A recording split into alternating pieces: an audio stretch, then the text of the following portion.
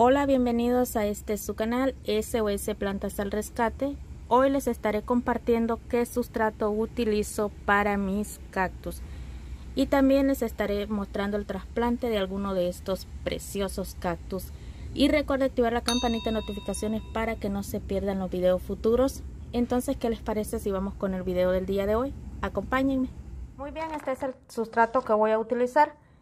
Yo compro ya el sustrato preparado, nada más le agrego aquí eh, algo sencillo, pero normalmente lo compro preparado porque me sale mucho más económico a que yo esté comprando por aparte todas las cosas y luego prepararlo. Quiero aclarar que esta no es ninguna promoción a ninguna marca, a ningún producto. Se los muestro porque muchas veces cuando les he mostrado algo así, me piden que les muestre la bolsa para saber exactamente cuál es la que yo compro. Esto es todo bajo mis gastos. Nadie me está pagando por mostrarles ninguna marca. Por eso yo les digo, no necesariamente deben utilizar esta marca que yo estoy usando. Únicamente se las muestro por si desean saber cuál es la que yo normalmente compro para mis cactus. Este sustrato está hecho a base de turba de musgo esfagno, arena y perlita. Por aquí les voy a mostrar cómo yo lo preparo y voy a utilizar cuatro partes de este sustrato. También se puede utilizar tierra de jardín o cualquier otro sustrato del que ustedes dispongan, el que se les haga más fácil de encontrar y por supuesto económico. En mi caso, como les digo, si yo me compro, uh, es decir, perdón, si yo me compro las cosas por separado, cada cosita y luego lo mezclo, me sale bastante caro. Voy a agregarle una parte de humus de lombriz. El humus de lombriz yo lo uso prácticamente en todas mis plantas de interior y exterior. Voy a utilizar una parte de perlita. Creo que ya se me está terminando. Voy a tener que conseguir más. Voy a colocarle hasta donde llegue, pero normalmente es una parte, ya que el sustrato que les mostré ya trae perlita, entonces no considero que necesite más y lo que voy a hacer pues nada más es mezclarlo.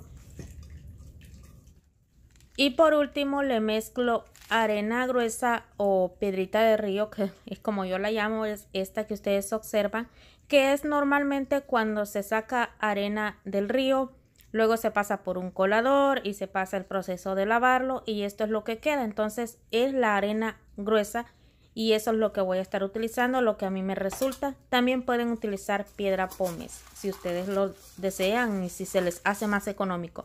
Voy a utilizar únicamente tres partes. El sustrato ideal para cactus debe ser aquel sustrato donde drene perfectamente bien el agua, que esa agua no quede encharcada porque los cactus se pudren fácilmente.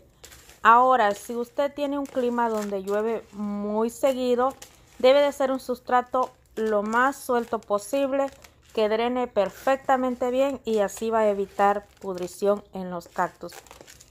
Debe de quedar bien, como les digo, bien suelta, bien ligera. Y la mejor forma en la que a mí me ha dado resultado, que esto yo lo aprendí por videos en YouTube también, es que hay que tomar eh, una parte en la mano. Si ese sustrato cae fácilmente, quiere decir que está perfecto. Si se compacta quiere decir que aún no es el sustrato ideal. Recuerda que primero usted debe de analizar su clima para saber qué sustrato es el que le va a dar resultado con los cactus. En mi caso yo tengo mis cactus al aire libre, no están bajo techo. Es decir que aquí en algunas ocasiones llueve por más de dos días y los cactus, igual que la suculenta, recibe todos esos días de lluvia y por eso utilizo este tipo de sustrato que drene lo más posible, lo mejor posible. Entonces así es como preparo el sustrato para mis cactus, muy fácil, muy sencillo. ¿Qué les parece si continúan aquí conmigo en el video y me acompañan a trasplantar algunos de mis cactus? Que por supuesto lo vamos a hacer aquí juntos. Muy bien, vamos a iniciar con este. Y así, miren. Wow, tiene muchas raíces. De este no sabría decirles el nombre porque no lo trae en, en, la cosita. Este lo acabo de comprar, bueno, no ahorita. Lo compré cuando compré las orejitas de Mickey que se los mostré en el video de cómo cuido mis hibiscus. Creo que ahí fue donde se los mostré. Que lo compré y también me compré este. Si ustedes saben el nombre, por favor, háganmelo saber en los comentarios. Miren qué precioso está. Miren. Es hermoso, me encanta. Precioso.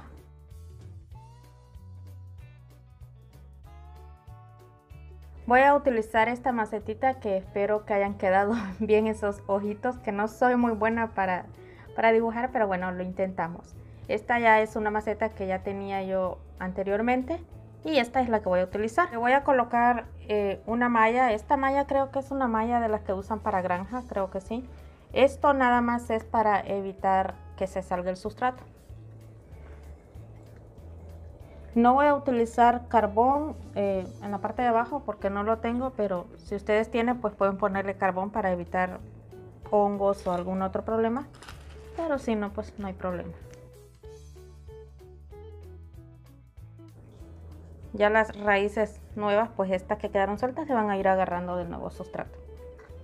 Y ahora sí, vamos a colocarlo. Ya le colocamos la capita de sustrato en la parte de abajo y vamos a colocar el resto si utilizan este tipo de pinzas que yo estoy utilizando perdón no hay que presionar el cactus porque podemos romperlo nada más es como para sostenerlo muy suave. Y listo. Muy fácil. Trato de dejarlo al mismo nivel que estaba anteriormente. Ahora voy a colocarle eh, unas capitas de piedra de río.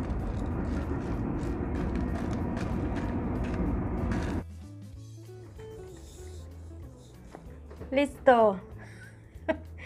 ¿Qué tiene, niña? Mire. Qué precioso.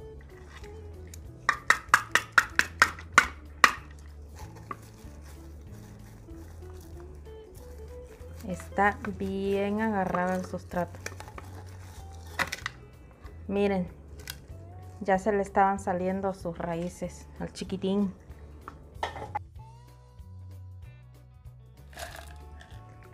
No quiero dejarlo demasiado enterrado en el sustrato para que le dé entre un poquito de aire en esa área. Ahora vamos a continuar con esta belleza. Es precioso, pero yo le tengo un miedo porque se me llena el cuerpo de tuna. Este yo se los presenté cuando fui a comprar. es que ando. Yo se los presenté cuando les mostré el video del cómo cuido mis hibiscus. Y en el video yo se los muestro. Estoy sorprendida. Porque en ese video cuando se los mostré ya traía unos hijuelos que vienen aquí en algunos. Este no lo traía.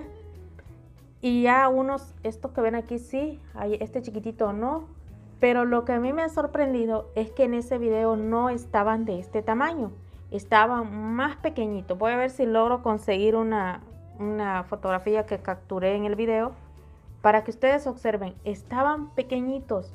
Y si quieren asegurarse, pueden ir a ver el video de cómo cuido mis hibiscus, que se lo voy a dejar donde está la letra I. Y ahí van a observar que estos chiquitines que ven aquí estaban chiquititos así y han crecido súper rápido en tan poco tiempo. Miren cómo están. Y por aquí vienen más, miren. Voy a ver si se los logro mostrar. Miren, este chiquitito, este está recién. Por aquí me parece que le vi otro, que están bien chiquitos. Por aquí viene uno. Aquí. Ahí por ahí se ve. Y por ahí mismo trae otro pequeñito estoy sorprendida. Es tan precioso. Deseaba tanto este, este, cactus. Pero a la misma vez, como les digo, le tengo un poquito de miedo. Voy a sacarlo en este sustrato que ya estoy utilizando. Porque yo lo estuve observando y el sustrato se ve bien. Ay, ya se me comenzaron a caer las tunas. Espero que mi gatito no vaya a andar ahí de travieso. Esto no va a estar fácil. Con este sí me voy a poner guantes porque este sí le tengo un poquito de miedo porque se me llena de tunas mis manos. Yo no sé si es que tira tunas así, así sin que lo toquen, porque ya siento que me está picando aquí. Ya siento, siento el pica pica. A ver, a ver. ¿Saben qué? Lo voy a agarrar de aquí. Y listo. Listo, listo. Uf. Si estuvieran ustedes, si estuvieran ustedes aquí, se estuvieran riendo de mí porque tengo un desastre en el piso ¡Auch! ¡Auch! Y ya se me metieron, ahí se ven. Un saludo especial para Isabela Fuentes, Henry Quero Ventura, creo que así se pronuncia, y Candy Fuerte. Muchas gracias a los tres por estar siempre acompañándome en cada video y por dejarme siempre su comentario. Les envío un abrazo muy especial, muchos besos y muchas bendiciones.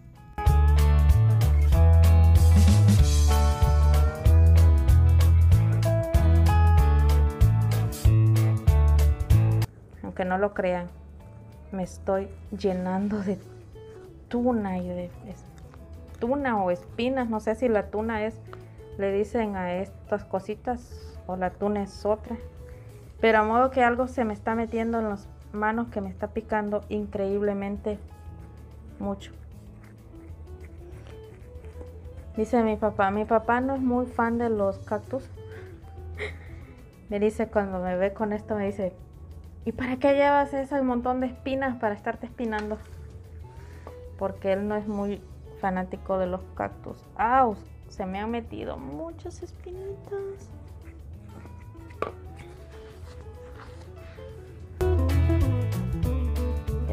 Aquí. Uy. Uy, uy, uy.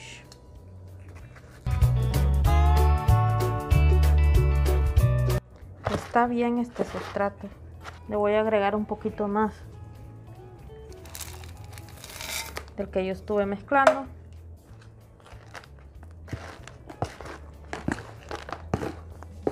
Estoy viendo aquí se ve un poco extraño. Pareciera que tiene fibra de coco, pero no sé.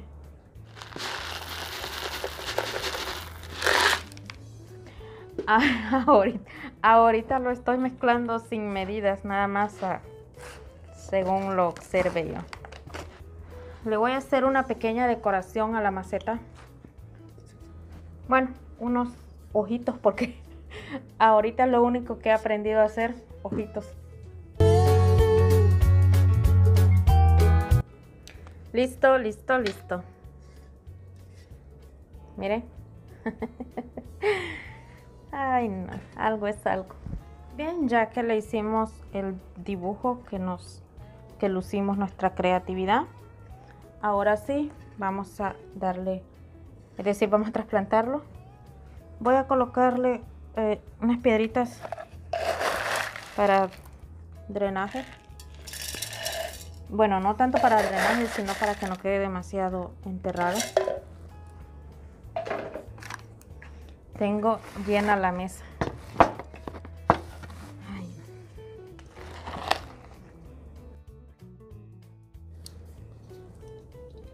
Les pido disculpas por el desorden que se ve en la parte de atrás, pero ese día andaba por ahí lavando ropa, entonces eh, lo dejé así a medias para poder trasplantar mis cactus y grabarles el video. Voy a retirarle unas orejitas a este hermoso cactus para poder, eh, porque quiero que tenga la forma de las orejitas. Se los voy a retirar para reproducirlos también de una vez. Nada más los voy a agarrar con mucho cuidado y voy a girar hasta que se desprendan fácilmente sin forzarlos como ven por aquí. Y así lo voy a hacer a los que necesite retirar.